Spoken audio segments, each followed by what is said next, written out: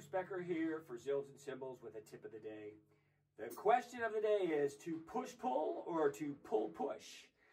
This technical approach that I was using on the hi-hat is known as the push-pull technique, but you can also reverse it. And what I was doing there was playing it in a reverse mode. In other words, I was pulling on the eighth notes, pushing on the E's and O's of my swung 16th notes. If you are to just understand the dynamic of the push-pull method, and you were to let your wrist go and you're loose here, you'll notice naturally that your tendons will stretch out and kind of open up. If you draw your wrist back, they'll draw in uh, modestly. And what you want to do is basically utilize that approach by dropping and closing. So if I demonstrated on the cymbal with the push-pull method, it would look like this. Three and four, Rihanna, one.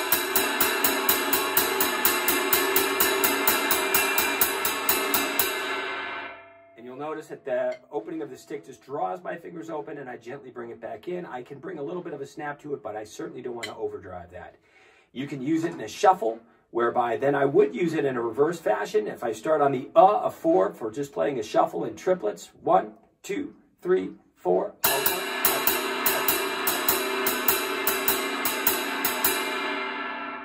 And it works pretty nifty for a shuffle. So anyway, Question of the day, push pull or pull push. Check it out, and see how it affects your playing. Bruce Becker here for Zildjian Cymbals. Peace.